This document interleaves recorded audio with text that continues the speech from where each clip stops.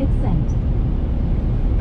This, and so when I, you know, when I was there, I was like, nah, this one's bad. So- you guys don't want to watch Temple of Doom. Let's watch one of the other two. Yeah, so I feel like that was the case for a while, and I said in my opening thoughts that there are still a lot of people, or at least I feel like there are still a lot of people that don't really like this one all that much, Mhm. but do you feel like the praise for it has started to turn around a bit ever since Kingdom of the Crystal Skull?